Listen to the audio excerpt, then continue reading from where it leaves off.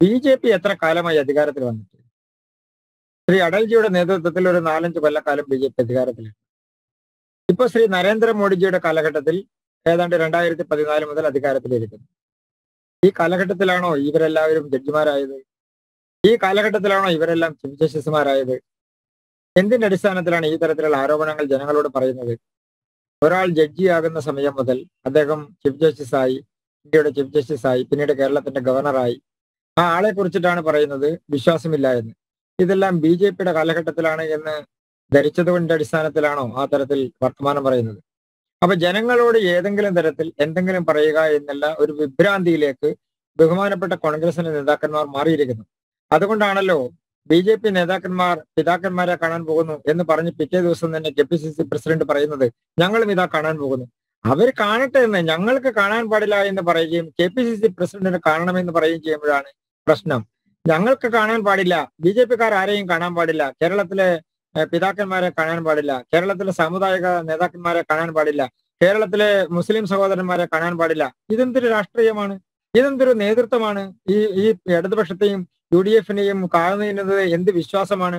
ജനാധിപത്യപരമായി പ്രവർത്തിക്കുന്ന ഒരു രാഷ്ട്രീയ പാർട്ടി അതും ലോകത്തിലെ ഏറ്റവും വലിയ രാഷ്ട്രീയ പാർട്ടി ഇന്ത്യയിൽ ഏറ്റവും കൂടുതൽ സംസ്ഥാനങ്ങൾ ഭരിക്കുന്ന രാഷ്ട്രീയ പാർട്ടി ഇന്ത്യയിൽ ഗോവയും അരുണാചൽ പ്രദേശും നാഗാലാൻഡും അടക്കമുള്ള ഏറ്റവും പ്രധാനപ്പെട്ട പിന്നോക്ക വിഭാഗങ്ങളും അതുപോലെ തന്നെ ന്യൂനപക്ഷ വിഭാഗങ്ങളും തിങ്ങിപ്പാർക്കുന്ന സംസ്ഥാനങ്ങൾ ഭരിക്കുന്ന രാഷ്ട്രീയ പാർട്ടി. അങ്ങനെയുള്ള ബി ജെ പി കേരളത്തിലെ പിതാക്കന്മാരെ കാണാൻ പാടില്ല കേരളത്തിലെ സാമുദായിക നേതാക്കന്മാരെ കാണാൻ പാടില്ല.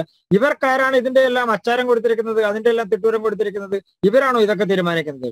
അപ്പൊ ഇവർക്കുണ്ടായിട്ടുള്ള വിഭ്രാന്തി എന്ന് പറയുന്നത് കേരളത്തിലെ നിരന്തരമായി ഇവർ വഞ്ചിച്ചുകൊണ്ടിരുന്ന പറ്റിച്ചുകൊണ്ടിരുന്ന പറഞ്ഞു പറ്റിച്ചുകൊണ്ടിരുന്ന ഒരു വലിയ സമൂഹം ആളുകൾ അവരുടെ വോട്ട് ബാങ്കായി കയ്യിൽ വെച്ചുകൊണ്ട് നിരന്തരമായി അവർക്ക് വോട്ട് ചെയ്യണമെന്ന് അന്ധമായി വിശ്വസിച്ചുകൊണ്ട് കയ്യിൽ വെച്ചുകൊണ്ടിരുന്ന ഒരു വലിയ വിഭാഗം ആളുകൾ അവർ തെറ്റുതിരുത്താൻ വേണ്ടി തയ്യാറാകുന്നു. അവർ വസ്തുതകൾ മനസ്സിലാക്കാൻ വേണ്ടി തയ്യാറാകുന്നു. അവർക്ക് എന്താ തെറ്റ് പറ്റിയെന്ന് നിങ്ങൾ പറയണം. അവർ തെറ്റ് തിരുത്താൻ എന്ന് പറഞ്ഞല്ലോ. അവർ എന്ത് തെറ്റാ ചെയ്തിട്ടുള്ളത്? അവരല്ല തെറ്റ് ചെയ്തത്. നിങ്ങളാ തെറ്റ് ചെയ്തത്. ആ ആളുകളെ നിങ്ങൾ തെറ്റ് ആളുകളെ അല്ല നിങ്ങൾ പറഞ്ഞത് അങ്ങനെയല്ലല്ലോ. കേരളത്തിലെ എന്താണ് കേരളത്തിലെ വിശ്വാസി നിങ്ങൾ അനുകൂലമായി ചിന്തിച്ചിരുന്ന മേഖലകളിൽ നിന്ന് അവർ വഴിമാറി ചിന്തിക്കുകയാണ് ആ സമൂഹം. എന്തുകൊണ്ട് ആ സമൂഹം വഴിമാറി ചിന്തിക്കുന്നു? കേരളത്തിലെ ജനാധിപത്യ സംവിധാനത്തിൽ നിങ്ങൾ നിരന്തരമായി നടത്തിക്കൊണ്ടിരുന്ന വഞ്ചനകളും നിരന്തരമായി നടത്തിക്കൊണ്ടിരുന്ന സംവിധാനങ്ങളും ആ സംവിധാനങ്ങൾ നിങ്ങൾ രാഷ്ട്രീയപരമായി വോട്ടിന് വേണ്ടി അവർ ഉപയോഗിച്ചിരുന്നു എന്നാൽ അവർ തിരിച്ചറിഞ്ഞിരിക്കുന്നു. അതിന്റെ അടിസ്ഥാനത്തിൽ ആ സമൂഹം മാറി ചിന്തിക്കുന്നു. അവർ ബി ജെ പിക്ക് അനുകൂലമായി വരുമോ? ബി ജെ പിക്ക് വോട്ട് ചെയ്യുമോ? ഇതൊന്നും ഞങ്ങളുടെ രാഷ്ട്രീയപരമായിട്ടുള്ള വിഷയങ്ങളല്ല. പക്ഷെ ആ സമൂഹം ബി ജെ പി ചിന്തിക്കുന്ന കേന്ദ്ര ഗവൺമെന്റ് ചിന്തിക്കുന്ന ഒരു രാഷ്ട്രീയ നയത്തിനോട് അനുസരിച്ച് ആ നയപരിപാടികളോടനുസരിച്ച് ചിന്തിക്കാനും അതിനെ അനുകൂലിക്കാനും അത് അംഗീകരിക്കാനും തയ്യാറായി വരുന്നു. അതിലെന്താ തെറ്റുള്ളത്?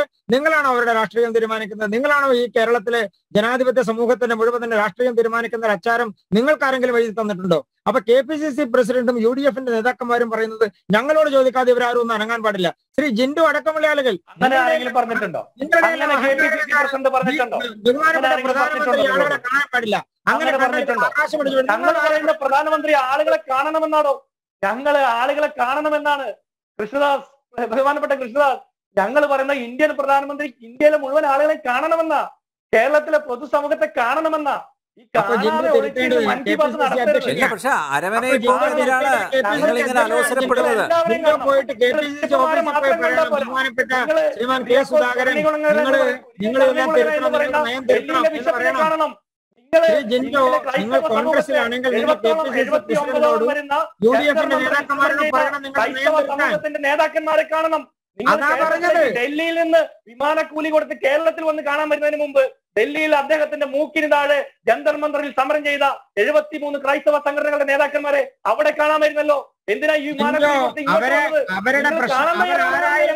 ആദ്യം ആ സമൂഹത്തിൽ ആളുകളായിരുന്നില്ല. അവരുമായി ബന്ധപ്പെട്ടുകൊണ്ടുള്ള വിഷയങ്ങൾ പരിഹരിക്കുന്നതിൽ ബഹുമാനപ്പെട്ട പ്രധാനമന്ത്രി അടക്കമുള്ള ആളുകൾ ഏതെങ്കിലും നാമമാത്രമായി എവിടെയെങ്കിലും ഇരിക്കുന്ന കടലാസ് സംഘടനകളോടല്ല സംസാരിക്കുന്നത് ബഹുമാനപ്പെട്ട പ്രധാനമന്ത്രി. നിങ്ങൾ എന്താ വിചാരിച്ചത് എന്ന് പറയുന്ന ബിഷപ്പിനെ കടലാസ് സംഘടനയുടെ നേതാവ് എന്നാണോ നിങ്ങൾ ഉദ്ദേശിക്കുന്നത്? നരേന്ദ്രമോദി കണ്ടല്ലോ. ഞാൻ നിങ്ങളുടെ ഡൽഹിയിൽ കണ്ടല്ലോ. നിങ്ങൾക്ക് നരേന്ദ്രമോദി ഡൽഹിയിൽ കൂടിക്കാഴ്ച നടത്തിയല്ലോ. അങ്ങനെയുള്ള ബഹുമാനപ്പെട്ട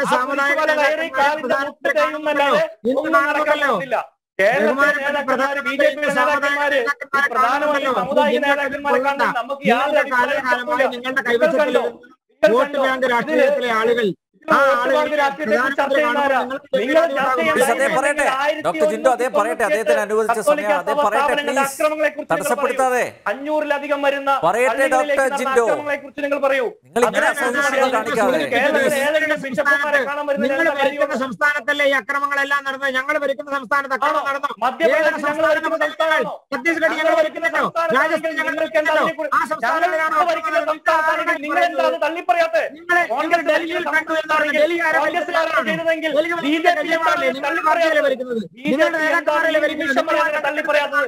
എന്താണ് ഞങ്ങൾ ഭരിക്കുന്ന സംസ്ഥാനത്താണെങ്കിൽ നിങ്ങൾ എന്തുകൊണ്ടാണ് തള്ളിപ്പറയാത്തത്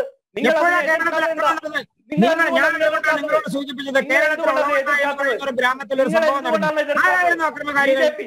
ഈ